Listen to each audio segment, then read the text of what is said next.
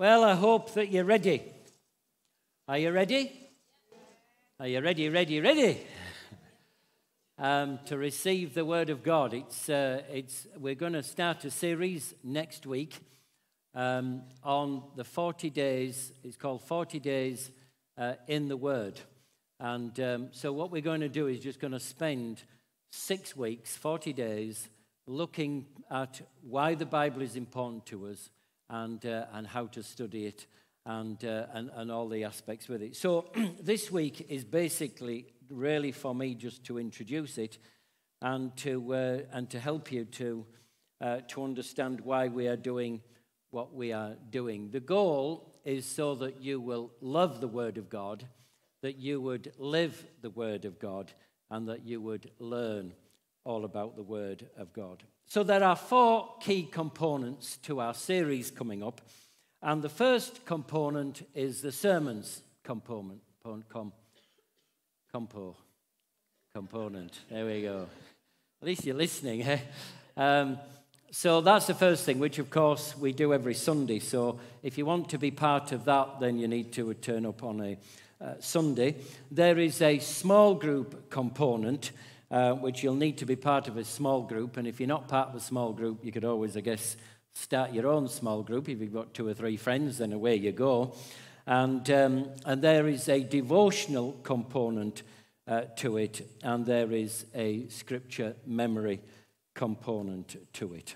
And so that's what we're going to do over the next six weeks. So we start next week. So the first thing we're going to look at is we're going to look at the inspiration of the Bible. In other words, how can I trust the Bible? How do I know that it is true?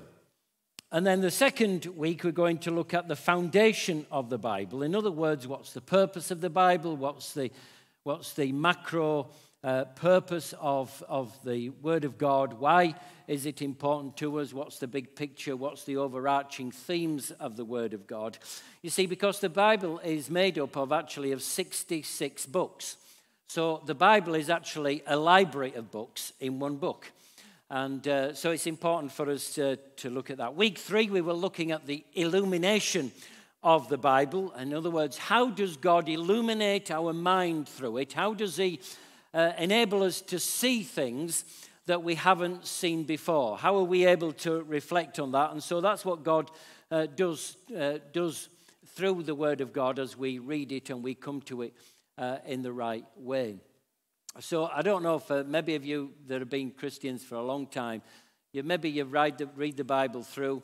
Uh, for many of us, we read the Bible through each, each year. Um, some, some do daily devotions and do it in different ways. But what you'll find is you, one year or one day you will look at a scripture that you've maybe read many times before, but suddenly it says something powerful to you. It means something different to you, doesn't it? Or um, you know, it illuminates to us, and uh, and sometimes that happens through other people sharing the word uh, of God to us. So the fourth uh, week we will look at interpretation. How do we know what a verse in the Bible means. Yes? And I don't know if you've ever heard, sometimes people say, oh, well, that's your interpretation.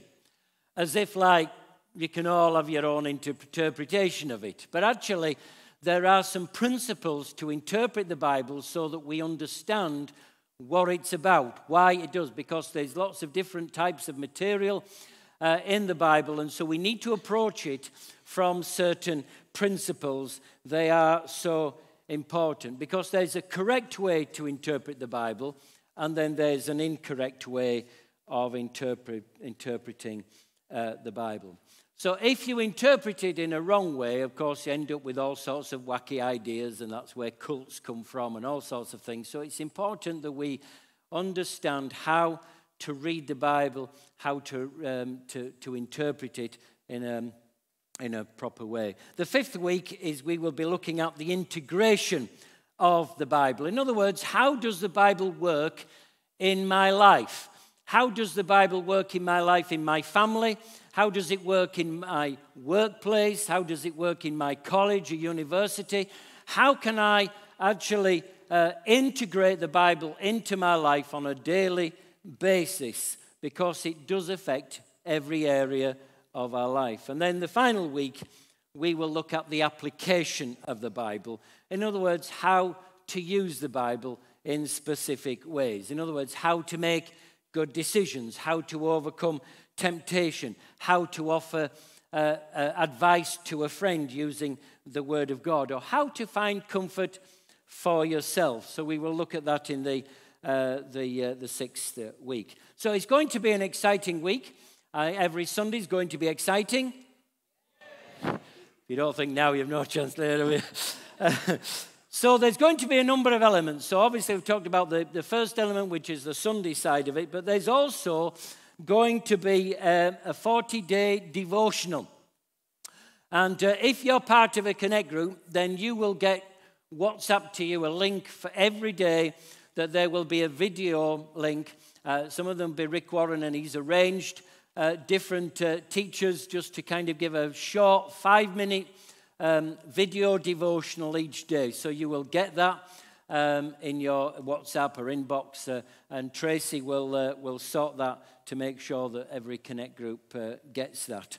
Uh, but then, of course, there is a third element, and that is that there is going to be some small group study. So, in your small groups, you are going to look at uh, a different part of the Bible each week. And, um, and so that's being done on a video. And again, access to that is done through our link. We have a link on YouTube so that each Connect Group leader uh, will have that link and, um, and so that you'll be able to, to, to watch it in your small group and walk it uh, and walk it through. And so he will be doing that. Now, in order to be able to do that, some of the stuff is we have a workbook uh, which you will receive in your small group. It's the only way to receive the small, the, to receive this workbook is to be a part of a small group.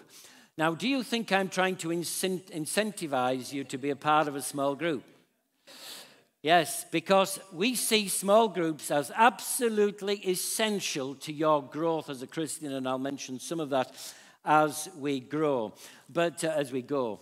Um, but we want to grow with the word, of course.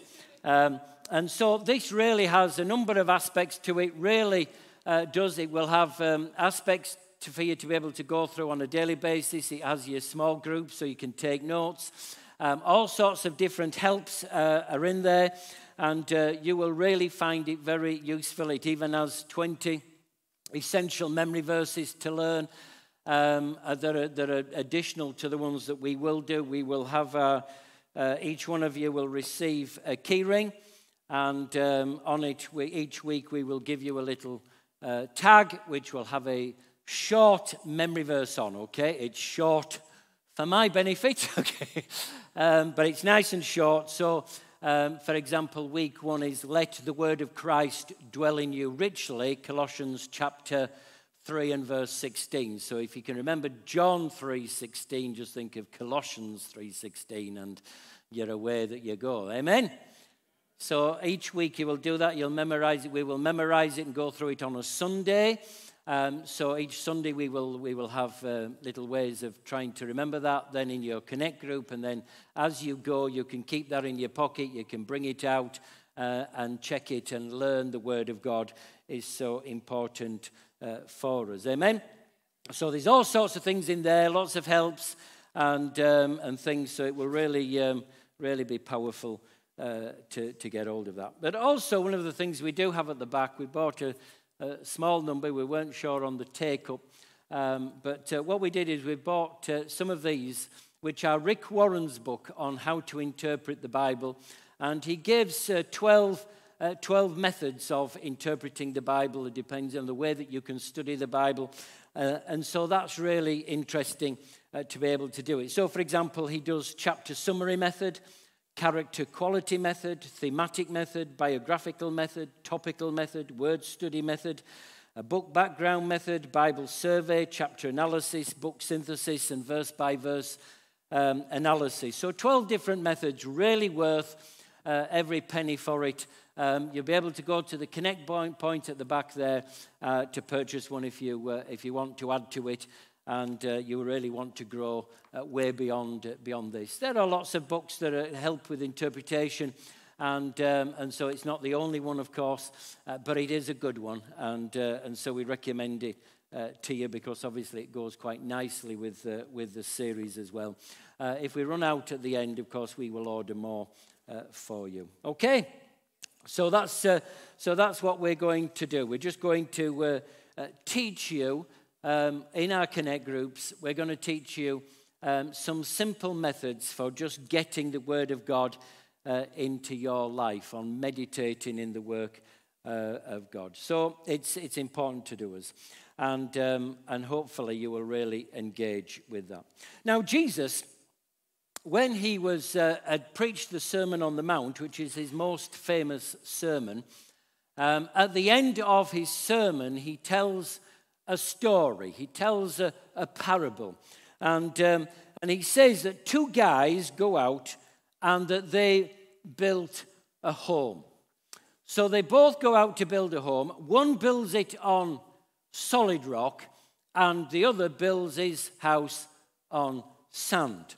In other words, the foundation for one is there can be both identical houses, but one is built on rock and one is built on sand.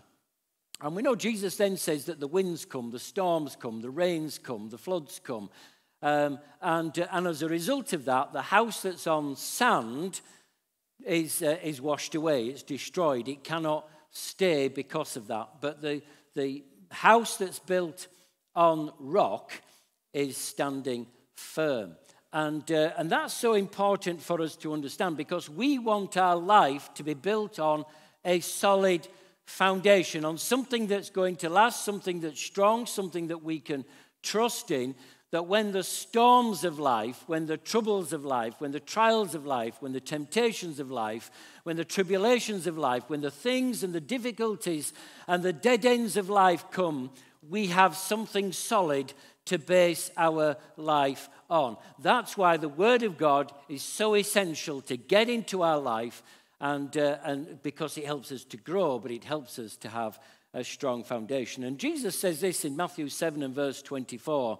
Uh, he, uh, uh, after this, he says, Everyone who hears these words of mine, in other words, it's talking about the Bible, he puts them into practice. He's like that wise man who built his house on the rock. So it's important to realize that when we build our life on the words of Jesus, we're building on the rock. And we are going to have difficulties. Now, I don't know what is going to happen the, for the rest of 2023 or 2024 or whatever, but I do know this that there are going to be difficulties, there are going to be storms, there are going to be issues in, our, in your life and in my life that, that actually are going to rock us. It's like the wind and the waves and the storm and the floods are going to come, and we're going to, in some way or other, and so it's going to be on how we are based in the Word of God, uh, is our foundation secure as to how we can go through those. I've seen people um, and, uh, and, and, and they seem to be strong. They, things, well, everything's are going right. But once something happens, that's when you see the trueness of what is in a person, isn't it? I think that's really important that we understand that. So I'll give you an example. Um, um, uh, I'm going up uh, the, uh, this week, uh, Kath and I, to a, a funeral of a guy um, called Tommy that was in the church when we pastored up there. Uh, he was a tailor by trade, great guy. But we went for a day out with him and his wife, and and um, and we got to this point on this island where it started to throw it down. I mean, pelt it down. Yes. So I said, right, let's go to these rocks over here on the beach. And so I hid and cowered behind these, uh, these rocks, you know. And Tommy went, Come on, we can't just stay here. We've got things to do. So, in other words, when what was in me was a coward, but what was in Tommy was uh, a strength. He was willing to get on, and so we all followed Tommy. So, there you go. He was the leader of the day because he had the courage of the day. It's what's in you comes out. Amen. And uh, but it doesn't come out until the storm, until the rain comes, till the difficulties of our life uh, uh, happens upon us. So it's important that we don't build our life on the opinion of others. What other people think, or what culture says, or what's on TV or on social media. It's important that we build our life on a foundation that is true. It was true a thousand years ago, and it'll be true in a thousand uh, in, a, in, another thousand years' time. In other words, it's truth. And when we have our lives based on something like that, that's not changing, it doesn't change, then we know we can go through the storms. And so I just want to look at James chapter 1, verses 19 to 25. So if you have a Bible, you might want to, uh, to turn with it. If you don't have a Bible, it's fine. The verses will come up on a screen behind us, and you should have them uh, on your notes if you have received notes uh, on the way in. And so it's important for us today to ask the question how can we build our life on the Bible? Well, the answer is simple. Look at the way that God has made us. God has made us with, with, uh, with five senses. He's given us hearing, He's given us sight, He's given us smell, He's given us taste, and He's given us touch. He's given us the five senses in which to experience the world. We all experience the world through those five sense, senses.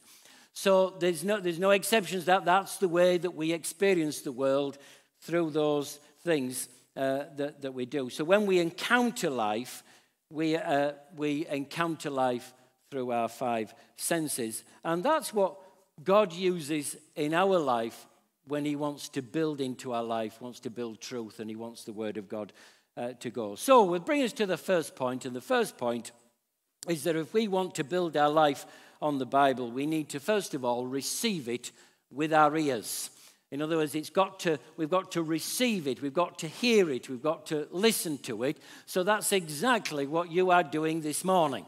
So this morning, whenever you listen to me, uh, up here, whether you're on, on the internet listening to another Bible teacher, you're on God TV, or whatever it might be, if you're listening to the Word of God, you might do what, what I do uh, uh, is uh, with the, with the um, YouVersion app is you can listen to the Word of God or you can listen to devotions, those kind of things. That's the first way that God um, uh, talks to us and we can hear God speak to us from that. Romans chapter 10 and verse 17 says this, Faith comes from hearing the message, and the message is heard through the word of Christ. So that's what's happening. Faith comes by hearing the message, and the message comes through the word of Christ. James chapter 1 and verse 19 says this Everyone should be quick to listen, slow to speak, and slow to become angry.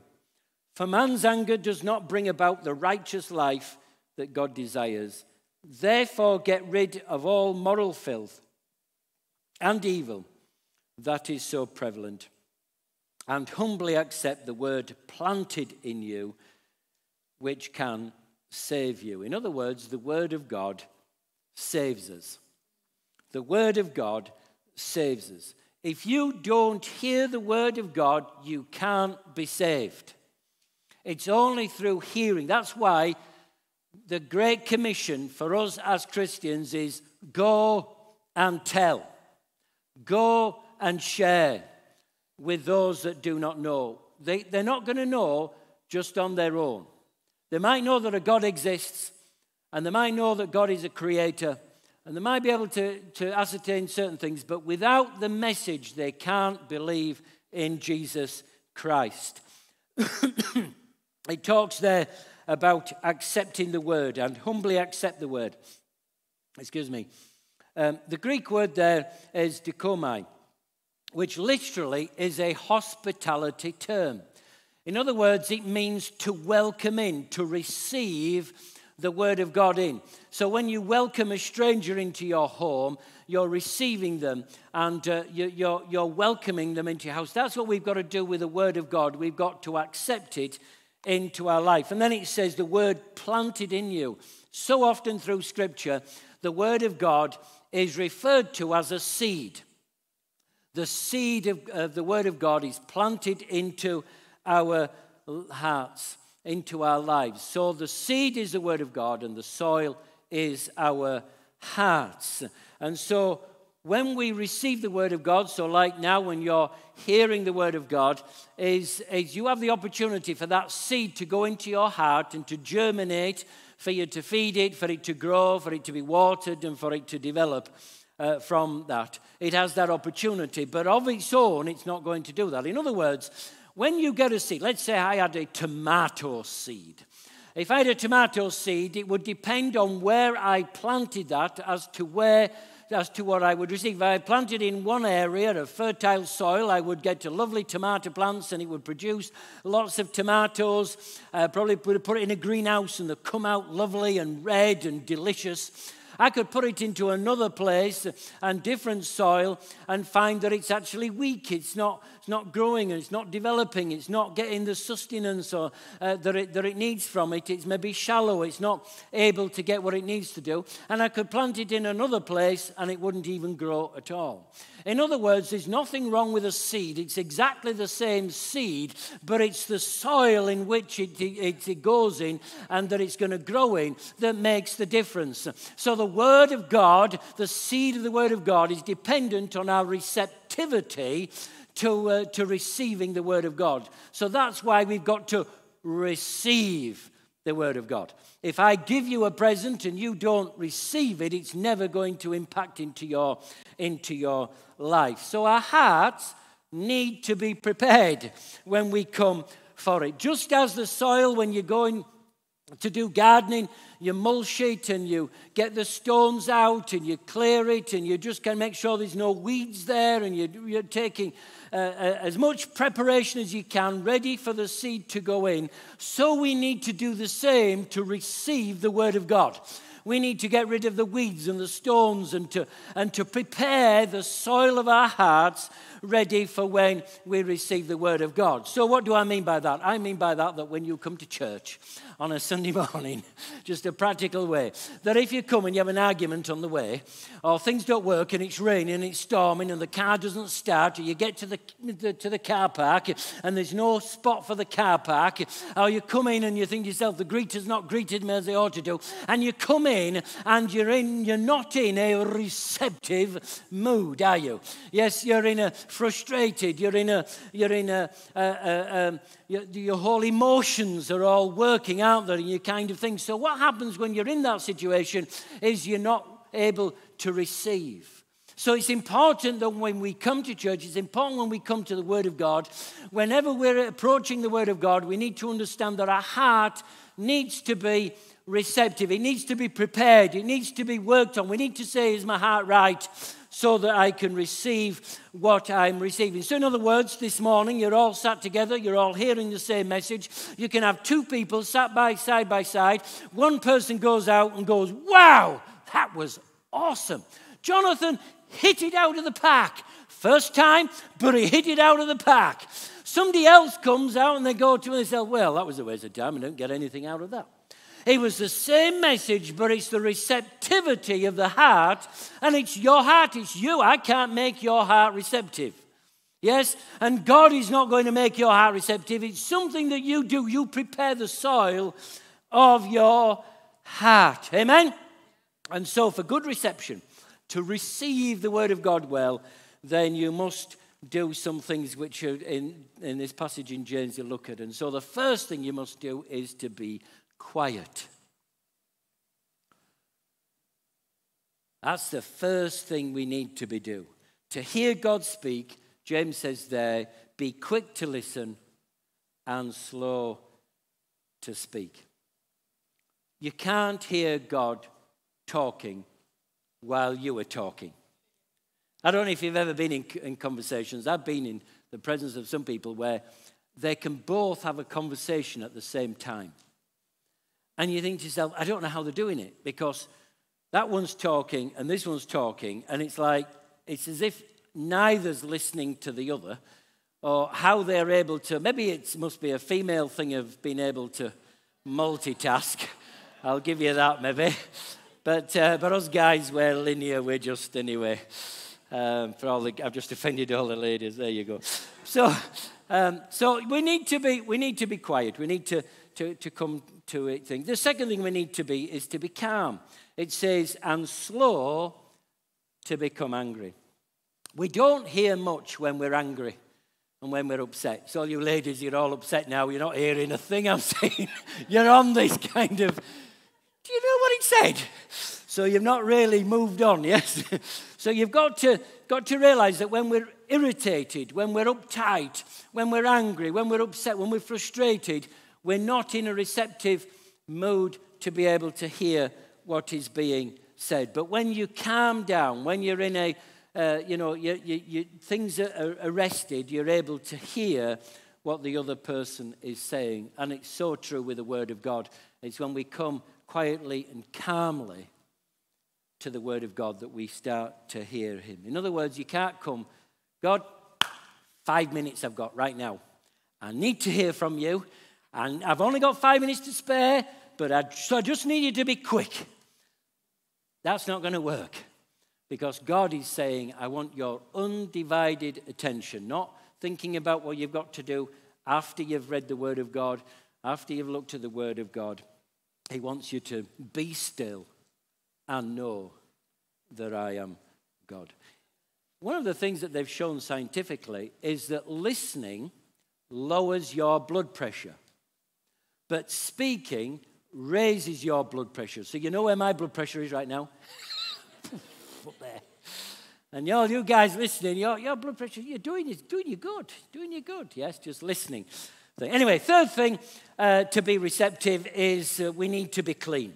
You can't have junk in your life or sin in your life and expect to hear God speak to you. This is what James says. He says, Get rid of all moral filth and the evil that is so prevalent. In other words, before you put the seed in the ground, you do some weeding. You get rid of the things that need to be, whether they're stones, whether they're weeds, whatever they might be. And some weeds can be so, I, I don't know if, if you've done much gardening, but, um, but you can go into a garden and you can push a little, pull a little bush up, say, for example, um, and, its, and its roots can go for, it seems like miles. That's an exaggeration, of course, I'm not. But, but, but they go forever.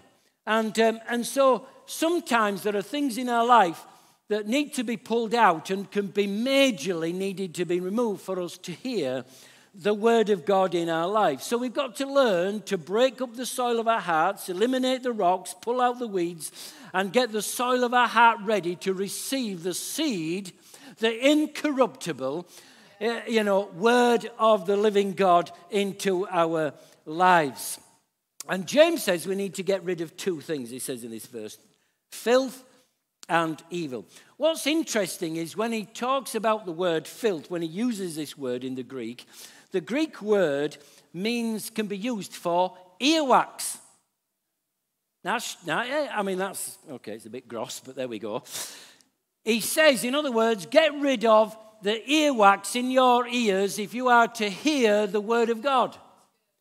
So that, you know, earwax is not something that we kind of, we're always trying to kind of get rid of the earwax so we can hear well. And so that's the, that's the point. The point is that James is trying to make uh, is that we can't hear God wherever there's junk in our life. Wherever there's things in our life, we need to understand that all that that's going to do is plug our ears up and we're not going to hear what God has to say with us, to say to us. Yeah? So, in other words, you can't have your mind full of pornography. You can't have your mind full of resentment and bitterness or anger. You can't have in your mind, uh, the, you know, other things that are going to stop you because they're going to stop you hearing the word of God. So the question I hear you saying is, well, how do I get clean spiritually? Well, there is a biblical term. It is called confession. Confession is the way that we get clean in our in uh, clean before God. And confession simply means agreeing with God. Confession literally means agreeing with God. Greek, the Greek word is homologeo. Homo, obviously, we get homosexual, homogenized milk. In other words, it just means same. Homo means some. The logio means to speak. So, in other words, it's to speak the same. So confession means we speak the same as God. God says it's wrong, we say it's wrong. God says it's right, it's right. In other words, we agree with Him, and when we agree with Him and say, God, I got it wrong, we are in agreement with Him, we are confessing, and so it's important to us that we've got to clean out the garbage in our life if we are to hear what, uh, what God wants to say to us. And the fourth thing we need is we need to be humble. James says, humbly accept the word planted in you, which can save you. A prideful heart will be a blocked heart. Yes? When, in other words, we come and think, I know best. Or I'll hear what God wants to say, and then I'll decide whether I'm going to do it or not. That is a prideful heart. That's saying that we know best. So, hearing God's word is essential, and it's the first base, as it were, for us to get the Word of God into our life. But unfortunately, we so often forget about 95% of what we hear. So, hence the reason having notes this morning. So, you might remember some of the bits there, you can take them on. So, the second way we build our life on the Bible is to read it with our eyes. So, you cannot grow without reading the Bible. James says in verse 22 don't merely listen to the word. Yes, you ought to listen to the word, and that's good, he says, uh, but uh, uh, don't merely listen to the word and so deceive yourselves. In other words, because you're going to forget it. Do what it says. Anyone who listens to the word but does not do what it says is like a man who looks at his face in a mirror and after looking at himself, he goes away and immediately forgets what he looks like. I don't know about you, but that happens a lot on a Sunday. Hear the word? By the time you've got to the car park, Satan's taken that seed and it's, it's gone, has it not? And, uh, and disappeared. And so we forget often uh, most of what we, we do here. It's important to hear to understand, but we don't remember um, a lot of it. So it's important for us to read it, yes? Uh, and that. So then, Billy goes on, but and here's the opposite to that. He says, The man who looks intently into the perfect law that gives freedom, in other words, the Bible sets us free, and continues to do this, not forgetting what he has heard, but doing it, he will be blessed in what he does. Who wants to be blessed? If you want to be blessed, then you do what he says in this passage. God promises us to be blessed if we will um, he blesses our family, blesses our work, blesses every aspect of our life if we will do it. He says, The man who looks intently, in other words, reads the Bible um, uh, intently, and then he says, continues to do this. That's reviewing the Bible. And then he says, not forgetting what he's heard, that's remembering the Bible, but doing it, that is responding to the Bible. He will be blessed by what he does. So, firstly, it says the person who looks intently. And he's talking about reading the Bible. The Bible is compared to a mirror. So you can look at a mirror two ways. You can look at a mirror and you can either just glance in the mirror, you know, kind of just go and move on, or you can look at the mirror and you look intently and you go, oh no. Oh, I need some makeup. All I can say is if the house needs painting, painting. Anyway. But, but what I'm saying is, we use the mirror for two things. Now, with the Word of God, you can either glance at the Word of God and just go, okay, I've got my, my, my, my penny's worth there, I've just glanced at the Word of God. Uh, glancing is better than not looking at all, but the best way is to gaze into the Word of God, to actually spend some time reflecting on it and reading it and, uh, and looking through it. Did you know, an interesting fact, that the first Queen Elizabeth she had, she lived at the, the time of Shakespeare, she had all the mirrors in her house removed as she, as she got older in Buckingham Palace. Not a mirror anywhere that she could see because she realized she was losing her beauty. She was putting makeup on um, and she was using makeup that had lead in it. Of course, in them days, they didn't realize how the lead would actually make the skin worse. So, ladies, just be careful. Um, but so you had them all. So, in other words, the mirrors, mirrors there for us to reflect, to evaluate ourselves, to see ourselves. And when we read the Bible, we're able to look at ourselves and see what the Bible sees in us and able to make a difference with that. And, uh, and so, thirdly, we need to research it with our hands and with our mouth. This is basically Bible study. Researching is Bible study. Yes, there's two components to, to Bible study. The first one is you need a pen and pencil, or you need to um, have some way of writing it down. And the second one is to discuss it, to chat about it, to talk about it, yes? So that's what turns it into study. That's why our small groups are so important. In our small groups, we're able to read it, we're able to, uh, to reflect on it, to, to, to listen to it, but we're also able to be able to kind of discuss it and say, look, this is what the Word of God is saying here. So, this is why these next 40 days, uh, we are wanting you to plug into a small group. Some of you may have stopped going to a Connect group, and we're just saying, we'd love you to start. In fact, let's rephrase that. God wants you to restart. God wants you in a small group. He's into small groups. Small groups is a big thing in God's agenda. And if you don't believe me, read the Bible. because right from the beginning, God is into small groups. And uh, I, I, won't digress, but I want to say to you whether you're it's in Moses, uh, he had to, to, go in the small groups, groups of tens, of hundreds, and of thousands. He had the small group principle there. Jesus, in there, he had 12 disciples. Uh, and even within that, he had a Peter, James, and John. And the 12 was multiplied out to the 72, which is groups of 12. The 120 in the upper room, groups of 12. In other words, there is always, in God's economy, there's a small group and we can't, we can't relate to a large group number of people. Now, I can talk to you and you listen to me, but there's no real interaction. You can't have a deep intervention. We can't research it and look at the Word of God together, but we can in a small group where it's small enough to everybody participate, to see what they see, to respond to what they're hearing and that they're, they're, they're reading. And, and so God is able to work in that. It is paramount that we understand the Word of God in a community context. And God wants us to be in a small group community context. Amen. So that's important for us. So it, it's the, John 5, verse 39, Jesus says this You search the scriptures because you believe they will give you eternal life, and the scriptures point to me. So, in other words, right from the Old Testament all the way, all the scriptures, they point to who? To Jesus, absolutely. I hope you weren't going to say Jonathan. in Acts 17, Luke talks about a group of people in a city called Berea. And Berea is a little city in Greece. And he says this the people of Berea were more open minded than those in Thessalonica, which is another city in, in uh, Greece. And they listened eagerly to Paul's message.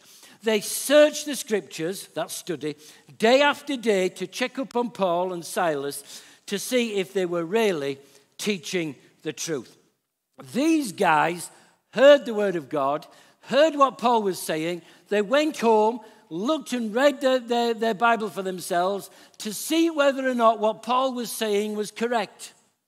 And so they were able to read it, to study it, write it down, and they discussed it together as a group.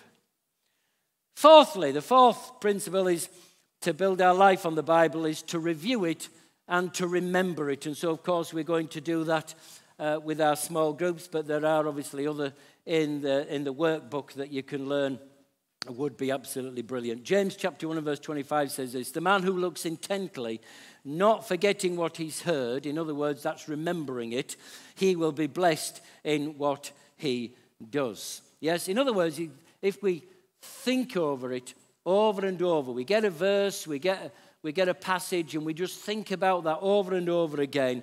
That is what God wants us to do. It is probably one of the greatest habits that you will ever acquire is to remember the Word of God. You start memorizing the Word of God as a daily habit, it will help you, it will transform your life because you will have the Word of God with you.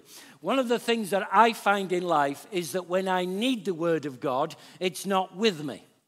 Do you know what I'm trying to say? You're in a place uh, uh, of where the storm suddenly comes, or there's a, there's a temptation, or there's a difficulty, or something just comes in, and you think, what are you going to do? And you think to yourself, okay, where, where's my, oh, my Bible's still at home. What, what, what can I do? But if you've memorized it, you're taking it with you, aren't you? And when a temptation comes, you can just quote the scripture and say, No temptation uh, has come upon you except what is common to man. And just be able to re, re go through, the, uh, the through the, uh, the, what the Bible is because you've remembered it. If you don't bring it in, you can't bring it out. Amen? Now, the issue is for a lot of us is we often think, Oh, I struggle with memorizing things. And I'm the same as you. Now, there are some people who are really good. There are some people who have photographic memories. Yes? Uh, we're jealous of that, okay? But, but some people are, so we've got different levels, but wherever we are, whatever level we're on, we can develop it better. In other words, studying and memorizing scripture will actually help you remember things in other areas of life. It actually develops your ability to memorize uh, things. Uh, so you know how bad my memory would be if I, did, if I didn't read and memorize scripture. It is a skill that you can get good at. I want to say this to you. We always remember what's important to us. So, for example, the match is on the TV. You'll know who's playing, you know what time it starts, you know the, the, the, the, who the managers are, you know, you, you, know the team, you know who's in the team, you know, uh, you know who, you know, you, you, you don't, why? Because it's a value, it's important. They, they, they want to know about that. You know, uh, for, for others, we, go, we just go to who? Who? I've got a clue. Team. Leads of a team. So there you go. So it's important for us to understand that, that we are able to get the word of God into us and, uh, and remember it. That Joshua 1 verse 8 says, Do not let this book of the law depart from your mouth. Meditate on it day and night. Yes, God is commanding us to meditate on the work of, Word of God day and night. In other words, when you're eating, when you're sleeping, when you're drinking, when you're playing, when you're running, whatever you are doing, is to have the Word of God as part of your life to do it. And then it goes on to say this in Joshua 8 it says, So that you will be careful to do everything written in it, you remind you it, you meditate on it so you can do what's right, then you will be prosperous and successful. This is the only place in Scripture that promises prosperity and success. And it comes from meditating on the Word of God. Yes, it's the only promise of prosper- prosperity and success in the Bible is in this verse. So if you meditate on it, God's promised that you will be a success. And so that's what we're going to do in our small groups. We're going to just to study the Word of God. We're going to learn to meditate on the Word of God. And, um, and fifthly, we're going to uh, learn how to respond to the Word of God. In other words, we're going to learn to do what it says. So James 1.22 says, Do not merely listen to the Word, and so do, do deceive yourselves. Do what it says. Yes? So we've got to turn it into action. Now, the question is how do we deceive ourselves? Well, how we deceive ourselves is like, for example, this morning we listen to the Word of God, so we think we've heard it, and then we go out and we think because we've heard it and we've understood it that we've got it.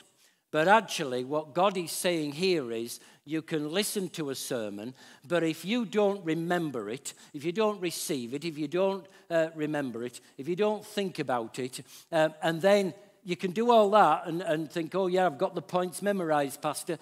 But if you then go on uh, to do and do nothing about it, it is a waste of time it is, it is meaningless. In other words, you are wasting your time coming to church on a Sunday morning if you're not going to put into action what you hear God say to you. That is, that is the crux of it. That is how we get the Word of God into our life, is by applying it to our life. Amen? So it's important. So, for in other words, I could teach you on how to build a balanced, financial, healthy life on, based on scriptural principles. And you might hear it and say, yes, great. But if you go out and you don't apply what's learned, it, to you it's a waste of time. It's only what we apply that makes a difference. In other words, it's only the parts of the Bible that we do are the parts that we actually believe. Let's go back to where we started with Jesus when he uh, ended the Sermon on the Mount. In Matthew 24, he says this Everyone who hears these words of mine and puts them into practice occasionally, puts them into practice, is like a wise man who built his house on the rock. The rain came down, the streams rose, and the winds blew and beat against the house, yet it did not fall because it had its foundation on the rock. But everyone who hears these words of mine, in other words, you come to church, you hear them, and then off you go, is like a foolish man who built his house on sand. The rain came, the streams rose, and the winds blew and beat against that house, and it fell with a great crash. I want to say to you, I don't want that to happen to you. That's why we're going through these 40 days in the Word because we, we do not want you to crash and to burn. We want you to build a solid foundation. Yes? And although I do not know what storms are going to come in 2023 or 2024, I do know this that storms will come. And it depends on what you built your life on. Have you built your life on a solid foundation? Have you built your life on God? We have got to receive the Word of God. We've got to read the Word of God. We've got to research the Word of God. And we have to, um, we have to remember it and reflect on it. And we need to respond to it. You know, you could remember that on your hand if you want to do. Uh, those, those five R's to try to do that. The first thing is to receive it. In other words, we, we need to listen to it, yes? Uh, that's the little finger. And, and just on that point, if you all you do is you come to church and you listen to it, uh, listen to the Word of God, then to have a grip on something in life, if all you're trying to grip onto is with your little finger, uh, somebody can snatch whatever it is out of your hand very quickly, can't they? Yes? So if I'm trying to hold this piece of paper and I've just got that, you could easily take that. Yes? But if I've not just listened to the Word of God, I've not just received it, but I then add to it reading the Word of God, I'm starting to get a stronger grip, aren't I? Yes, when you do that. When you, uh, when you research and you reflect on it, then, then you're getting a stronger grip even more, aren't you? When you memorize it, when you just, uh, you know, remember the Word of God, then you've got an even stronger grip. But then when you do it, you're putting all five into practice, nobody Nobody can get it out of your hand is important for us. Amen? My, my plea to you today is build your life not on Destiny Church, not on Jonathan, but on the Word of God. Amen? On the Word of God. I just want to ask you to follow me in a very simple prayer that I'm just going to pray. It's only a, a couple of sentences, but Pray with you. You can pray it in your heart, you can pray it out loud, whatever you feel comfortable with today. But just repeat after me Dear God, I want to build my life on the rock, not on sand. I want a solid foundation of truth. I want to build my life on the Bible so I commit the next six weeks to learning how to do these things. Amen. Now, if you've never invited Jesus into your life, maybe you would want to just to pray this prayer. You can pray it in your heart.